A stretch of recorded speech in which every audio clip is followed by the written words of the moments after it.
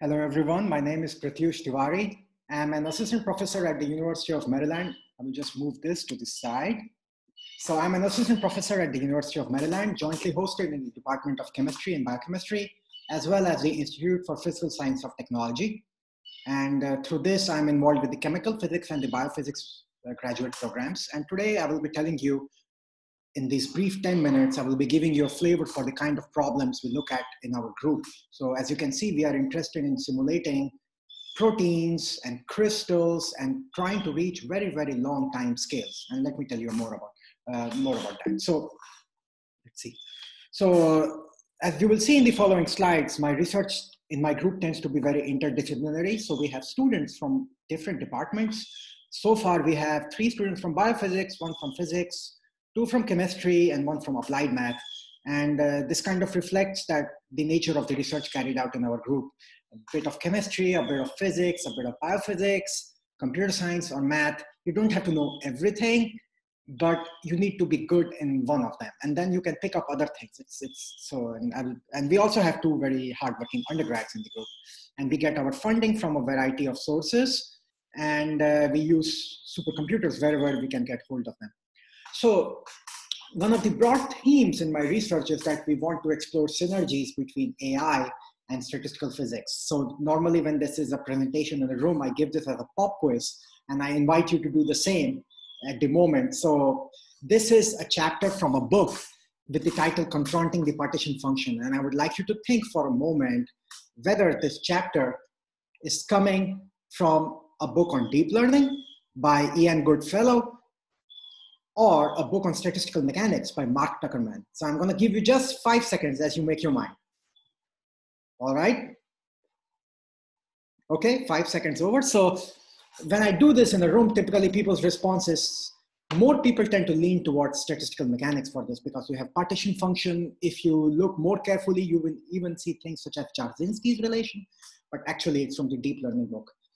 And so the reason in showing this slide is that both the fields of deep learning and statistical mechanics kind of have similar problems involving things such as partition function and other things. And uh, we are trying to develop methods where ideas from deep learning are used in statistical physics and vice versa to solve very practical problems. The type of problems we would like to solve are such as how do drugs dissociate from proteins? This is a drug called Glivec, which made it to the cover of Time magazine in 2001 only 13 years later, the same drug made it to the cover of Newsweek with the title Getting Cancer Wrong. So when it came in 2001, it was a wonder drug.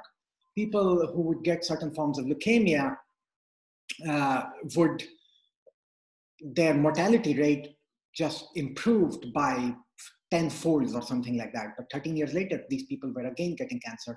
And a big part of this is that this is evolution in its basic form. Here you take the drug which goes and blocks a specific protein a few years later, the protein starts to develop mutation, which makes the drug ineffective.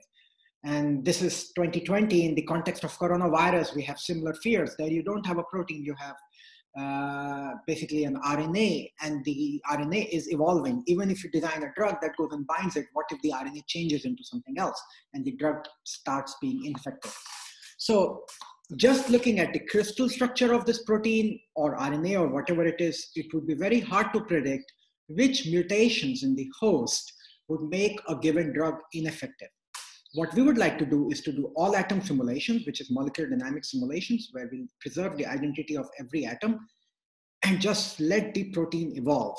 Let the protein study it as a function of time with femtosecond and all atom resolution and really try to get a grasp of what's going on. So, and uh, our, we are interested not just in problems in bio, uh, biophysics, we are also interested in problems in chemical physics and material science. For example, if you have a bunch of atoms on the surface of a thin film, at some point they will coarsen together and form one uniform uh, structure. How much time does that take? What is the process for this to happen? As you can see, these things happen slower than milliseconds. Similarly, you could have a nanopillar and you're trying to compress the nanopillar slowly at some point, so this is a face-centered cubic structure, at some point dislocations will form and the dislocations will start to move. And now you can see the pillar is deforming. We would like to study these. These are things which can be done in experiment, but in experiment, you cannot get the resolution of the type I'm showing you here, or I showed you for the protein. In molecular dynamic simulations, you can get such a resolution. and study these things. So I have been saying molecular dynamic simulations for those of you who don't know what they are. It's essentially as simple as solving Newton's law of motion. What you take as input is a force field or a potential that governs the interaction between atoms. And then you evolve Newton's law of motion as a function of time. This is Newton as per Google Images and you evolve Newton's law of motion as a function of time. And we have to do this on a supercomputer because there are so many atoms that we need to solve the equations of motion for. And once you keep doing it again and again and again, you can get all sorts of emergent dynamics at different length and time scales, going all the way from femtosecond to longer and uh, length scales atomic to even micron level. However, there's a huge problem when you're solving Newton's law of motion. You have a differential equation with a time step of femtosecond on supercomputers such as Deep Thought at University of Maryland, which is really fancy supercomputer, you can get up to a microsecond if you do it maybe for a couple of weeks. That's still very slow. Not, not a lot of interesting physics happens at microseconds. Now, something happened over the years. People realized that hardware which was being developed to keep undergrads from getting bored, such as Call of Duty, you know, one of the reasons this these video games were and are so successful is because the graphic is so engaging, right? The blood is simply so real. And the reason the graphic is so engaging, part of it is due to use of graphical processing units, GPUs. So people realized that GPUs could be put to better use by using them in MD simulations, and that also pushed the boundary. And there have been more advances. A very rich person in Wall Street got involved in the problem. He designed a very special computer called Anton, the total amount of money that has been put into Anton amounts to maybe a billion dollars, if not more. And with this, people were able to get to a millisecond. But that's kind of it with raw hard, hardware uh, developments. So maybe you can study conformational changes in proteins with things like this, but to study how does a crystal nucleate or how does a drug unbind from a protein, the timescales are still prohibitively slow. And we just don't want to study the fastest event, we want to study the full spectrum. And of course, with, with time, we will have more and more complicated force fields. We will not just be doing this is all for classical simulations. At some point, we would like to do fully quantum simulations, and there the timescale problem will be even more brutal. So, and the reason why this problem is theoretically so hard is because unlike dealing with larger systems, we can where you can just use bigger and bigger supercomputers, for the timescale problem, you are stuck with the problem that time is inherently sequential. You cannot just take I cannot recruit 100 graduate students and say, well, you look at t is equal to 1, you look at t is equal to 2, and you will take this all and make a, uh, make a soup out of it and get very, very long time scales. That's not going to happen. In order to predict the future, you need to know the you need to know the past exactly. That's now we are really at the core of the research in my group, which is how much of the past do you need to know exactly in order to predict the future? And this is what we call as the reaction coordinate in physical chemistry. Uh, I really don't have time to go into this in detail in 10 minutes, and I am hoping some of you will write me emails or set up personal Skype so I can talk about this if you're interested in this. But essentially, a reaction coordinate captures all the relevant slow degrees of freedom. Everything else that is not captured in this low dimensional mode is irrelevant. It is just white noise. So the tricks people do is, first of all, we have to see what happens in molecular dynamics. If you have a two-state picture, just a simple toy model, you would be stuck in one basin and an event that takes you to the other side would be a rare event. It would the, you can see there are thermal fluctuations going on here in the left basin and a thermal fluctuation big enough to take you to the other side can happen, but you just have to wait for a very, very long time. Now there are approaches such as metadynamics. These are called enhanced sampling approaches. If you, uh, in statistics, they are more generally called importance sampling. So the idea here is that wherever you go in this landscape, you add a little bit of repulsive bias. So imagine that uh, you have lots of wells in, in, in a, like in a football field, you have in a field, you have lots of, lots of wells and you go and fall into one well and you're just trying to jump and you're probably going to find it very hard to jump out of the well. But if you had at your disposal something called essentially sand. In this case, it's computational sand. You have infinite computational sand at your disposal. And wherever you go in the well, you add a little bit of sand. So at some point, the well will start to fill up and you will, more, you will be more likely to escape into the other well and so and so back and forth. So metadynamics is a hugely popular method. You can go and check. It's something like 5,000 citations and it's 10 years or 20 years of existence. However, there is a big problem. It allows you to explore back and forth it also allows, there is a method that I developed when I was a postdoc in ETH Zurich in Switzerland, which allows you to get true kinetics out of this metadynamics protocol All of this is wonderful, but it works only if you have a sense of this true reaction coordinate. And that's a chicken versus egg problem. In order to perform such enhanced sampling, you need to know the reaction coordinate. You need to know the slow degrees of freedom. How do you know the slow degrees of freedom when you're looking at a new system that you haven't sampled to begin with? So for this, we would like to develop methods that kind of learn this reaction coordinate on the fly as the sample rare event systems. For this, we have at least two methods. One of them I developed when I was in my, during my second postdoc at Columbia University, uh, which uses ideas from statistical mechanics called maximum caliber or path entropy. This method is called SGOOP. It's, it was first published in PNAS. You can go and look up these references. And uh, it led up to many follow-up methods, such as this meta-TICA and TICA-meta by competing groups. I'm not gonna go into that SGOOP method so much. I want, in the remaining two minutes, I want to just give you a flavor of the methods that we have been primarily developing since starting at Maryland. These methods use form of deep learning, and they essentially go back to the slide that I showed you in the very beginning regarding making synergistic use of artificial intelligence and statistical physics. So the notion here and the method is called RAVE, Reweighted Auto-Encoded Variation Bayes for Enhanced Sampling. It possibly reflects, the name reflects on the fact that when I was a first year professor here around two years ago, and uh, I was listening to a lot of techno music as I was coding things myself. So I think that's where subconsciously the title Rave came from. It's also easy to remember. And uh, this was the first Rave paper in 2018. Over the uh, last two years, we have published two more papers and two more are currently uh, about to be submitted. So the Rave takes its inspiration from deep learning, where you know you have you have these websites where you can upload pictures. So my cousins back home in India like to play this game where they upload a picture, like their picture and the picture of some girl or some guy that they fancy, and they ask the question, well, if we got married, how would our baby look like, right? So what's a picture to a computer? It's just a set of numbers, you know, RGB values over maybe a 28 by 28 matrix, 0, 1, 2, 0, 1, 2 everywhere.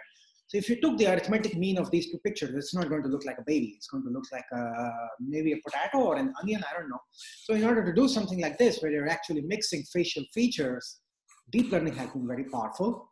What it does is to put notions of human intuition into practice. For example, as a human, you can mix facial features and kind of think about things. You will think like, oh, maybe the nose should be kind of in the middle of these two people's noses. Maybe this one has more hair, this one has less hair something like that. So that's what you're doing here. You have an input layer comprising this very high dimensional space. You pass it through a set of neurons, which are just activation functions. And you get to some low dimensional mapping, which looks something like this. It could be 1D, 2D, 3D, whatever. And you do your averaging, not in this state of input features, but you do your averaging in the state of these abstract variables. Over here, I'm showing you something called variational autoencoder there are other forms of deep learning also which do similar things. So our inspiration was quite simple. Could we use this low dimensional variable learned from deep learning as a reaction coordinate in chemistry and physics? And uh, there were other people who tried to do this over the past years. You can see the first work was actually in 2005 and it kind of failed. And there is a story why it failed and then it, these things had a revival in 2018. So of course, there are lots of practical problems in doing this. And I'm not going to tell you how do we actually solve these practical problems. Some of them are still in process and that's where there is opening for students such as yourselves to come and help me solve these problems. But the number one that I would like to show here is the, regarding the perils of deep learning. So like currently in 2020, you can think of COVID and you would see articles almost every hour there is a new article, if not more than every hour. Using AI, we have found a new drug. Most of them are crap. And the reason they are crap is, and I will try to show you why that happens. Because, so this is a website at Stanford where you upload a picture. And once you upload the picture, the computer generates a text for the picture. Here it says, man in black shirt is playing guitar, young girl in pink shirt is swinging on swing. So when it works well, it works beautifully. Sometimes it doesn't work well, and then you get things such as picture, and the text generated by computer, bunch of bananas are on the table. Picture, text generated by computer, group of people standing around a horse, and so on and so forth. So human intuition is very easy in saying, well, that's a wrong solution. That's clearly not correct. But having in an automatic procedure, being able to tell that this is a wrong solution, a right solution is extremely complicated. So this is one of the challenges we are trying to solve. There are some other challenges. For example, how do we learn models that are physically interpretable? So do, to do all this, and I'm really running out of time now. I was told 10 minutes, I'm already at 13. What we do is to use the notion of an information bottleneck. And I really refer you to this paper that we published in Nature Communication, where it puts this deep learning business in practice and uses the notion that it's, it's a very intuitive concept that a good model of a system should have two properties. First of all, it should compress the system as much as possible, while it should be able to predict as much as possible, right? So you want to, it to look like a bottleneck. On the left side, you want as little information as needed. Everything else is noise. So this model is easy to compute. Furthermore, it is still predictive of whatever you're trying to do. So you have a bottleneck structure. You can express this bottleneck as, and we will get to that in a moment. So the way we do that in my group is to think of it as the input being as the current state of a system and the output being as the future state of a system. And just like a frog trying to catch a fly, this delta t must be positive because if you're coming up with a model, if you're a frog which is trying to catch a fly and you're fixated on where the fly is at this very moment, you will be a hungry frog, right? You want to make predictions about the future of the fly slightly into the future. And uh, so this information bottleneck framework has been applied to actually for problems such as this. How do how does retinal processing work and things like that. And we want to apply it to biophysics. And for this, in order to mathematically write this down, we have a ratio, we have a difference of two mutual informations. And uh, in this paper, or in the Nature Communication paper, we show actually all the business that goes on here in solving this. I just want to show you some brief applications of all of this. We can now study, for example, how does this small ligand dissociate from a protein? What is the pathway it takes? We can reach time scales. This is the rate. So the residence time is one over the rate. We can reach time scales which are way beyond current all atom MD simulations in good agreement with experiments and as well as other methods, other competing methods. It's an important problem. So of course, we are not the only people trying to develop methods. Others are also trying. And then we can make predictions about which mutations in the protein would make this ligand or drug ineffective and some of these predictions are actually very interesting. They probably reflect, reflected something called allosteric communication. And we can apply it to more and more complicated drugs and uh, get time scales which are in good agreement with experiments qualitatively and quantitatively. And uh, there are other problems that also we are trying to solve here. Eventually, what we are trying to do is to really make all of this fully automated. So we have some atoms. This could be a biological system. This could be a crystal or some thin film or a nanomaterial or a quantum dot, we have some atoms. Given the position of the atoms and a force field, we construct a reaction coordinate automatically. Given this reaction coordinate, we perform simulations where we get back and forth movement between different states. We get free energy, we get kinetics, and all of this is completely automated. And that's kind of the big theme of my research group. With that, thank you very much. And uh, you can find me on Twitter. So let's go back to the first page, which has my contact information. So you, we have our lab group is on Twitter. You can find all the information out of that, Tiwary Lab. You can also go to our website and find my information. And my email is first initial, second name, p tiwary at the rate umd.edu. And I look forward to hearing from you. Thank you very much.